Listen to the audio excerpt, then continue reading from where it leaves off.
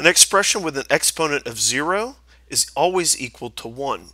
I've seen this time and time again. Most students always forget that the exponent means the number of times that the base is multiplied against itself times 1. So if we look at this, it's going to be 1 times 0 a's. So the answer is just 1. What about this one? 1 times 0 tens is just going to be 1 again. Here's an interesting problem. 2 times 10, notice the parentheses, the whole thing to the zeroth power. So it's 1 times none of these, because again, the parentheses. So the answer, 1. Here we have 7 times no tens. So it'd be 1 times 7